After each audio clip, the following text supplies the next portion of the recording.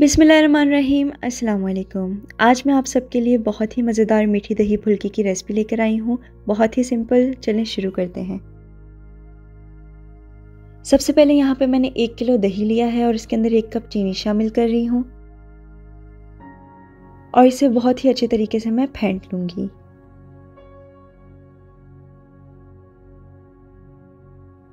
दही हमारा यहाँ पे अच्छे तरीके से फिट गया है। अब इसे मैं साइड पे रख दूँगी। एक बोल में यहाँ पे मैं एक कप बेसन ले रही हूँ। और इसके अंदर हाफ़ टी स्पून मैं सॉल्ट ऐड कर रही हूँ और साथ ही वन फोर्थ टी स्पून मैं इसके अंदर बेकिंग सोडा ऐड कर रही हूँ। अब इसमें मैं हसब ज़रूरत पानी डाल के इसे अच्छे तरीके से मिक्स कर लूँगी।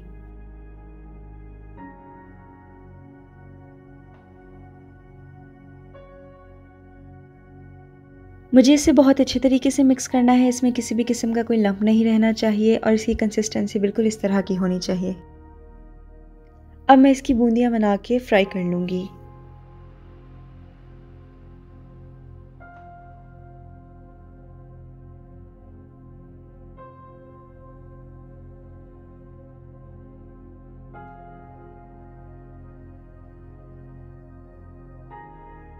यहाँ पे देखें, बूंदियाँ अच्छी तरीके से फ्राई हो चुकी है। मुझे इसे बिल्कुल ही ऑयल से निकाल के ठंडे पानी में नहीं डालना है। थोड़ा रूम टेम्परेचर पर आने देना है देन ठंडे पानी में ऐड करना है।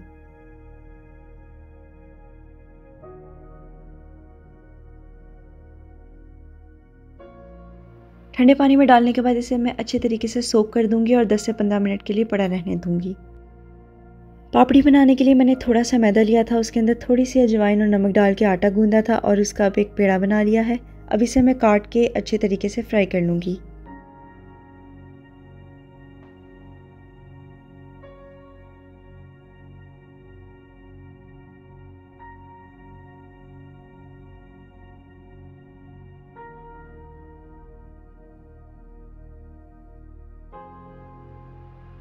यहाँ पर हमारी पापड़ी फ्राई होकर बिल्कुल तैयार है। चलें, अब हम इमली की सॉस तैयार करते हैं। उसके लिए सबसे पहले यहाँ पे मैं ग्राइंडर में इमली का पल्प ले रही हूँ। वन टीस्पून इसके अंदर मैं भुना हुआ ज़ीरा शामिल कर रही हूँ। थोड़ा सा मैं इसके अंदर काला नमक ऐड कर रही हूँ।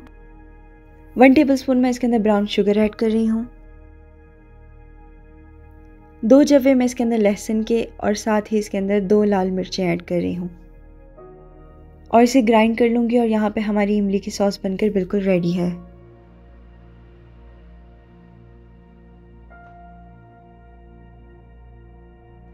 चलिए अब हम अपनी दही फुल्की की असेंबलिंग स्टार्ट करते हैं। सबसे पहले मैं नीचे प्लेट में फुल्कियाँ डाल रही हूँ।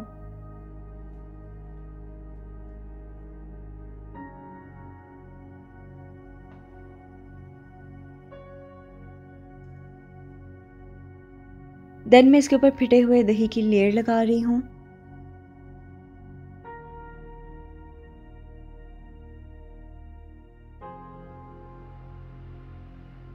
थोड़ा सा इसके ऊपर मैं चाट मसाला स्प्रिंकल करूँगी और साथ ही थोड़ा सा इसके ऊपर मैं भुना हुआ ज़ीरा शामिल करूँगी।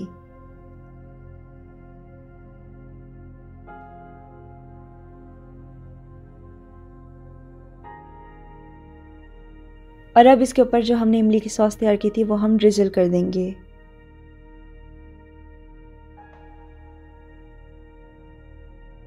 और साथ ही पापड़ी क्रश करके ऊपर डाल देंगे।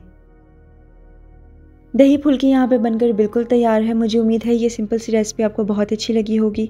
अगर अच्छी लगी है तो लाइक करें शेयर करें और मेरे चैनल को सब्सक्राइब करें और मुझे कमेंट सेक्शन में ज़रूर बताएँ कि आपको कैसी लगी। Thanks for watching